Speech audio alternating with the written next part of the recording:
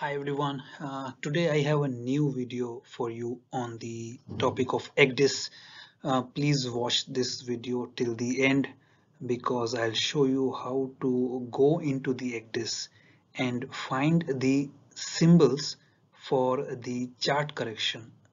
When I say charts, I mean electronic navigation charts that are uh, available on your ECDIS systems. So for ECDIS of course you have the publication NP5012 uh, that you see on your screen on your left side. That is guide to the ENC symbols for ECDIS. ENC of course stands for electronic navigation chart symbols. And uh, that guide also provides you um, on um, information about the symbols that are used in ECDIS all right but I'll go into the system and I'll show you how you can find these actual symbols uh, and use it for chart correction.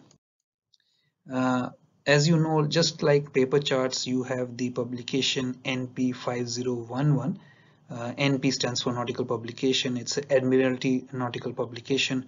And 5011 provides you with symbols and abbreviations used only on the Admiralty paper charts all right that is the paper charts and you can see how the symbols look like and the paper charts and so that you get an idea uh, of what the symbol should look like if you want to include it in the paper charts. Uh, but with the electronic navigation charts that are available on ECDIS uh, the system is much better. You don't have to draw anything manually.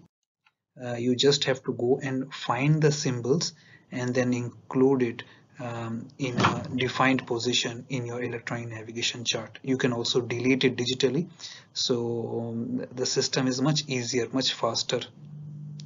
Also, the make sure that you take this topic very seriously because uh, you must use the correct symbol for chart correction because this is very important for your safety of navigation. If you don't do the chart correction properly, then your charts are not corrected and they are not updated uh, which can uh, lead to an accident or incident uh, like grounding or getting into a submarine exercise or um, firing exercises put your life in danger.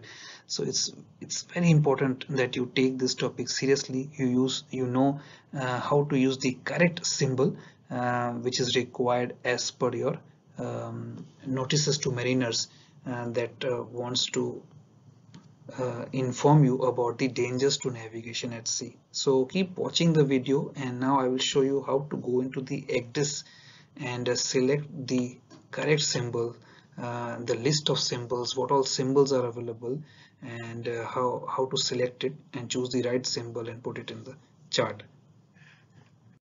So to find the symbols for chart correction go to chart go to chart types database select the database and select manage then just go to display chart and you will find the list of symbols here. ECDIS symbols overview and you can find all the symbols that you need for chart correction.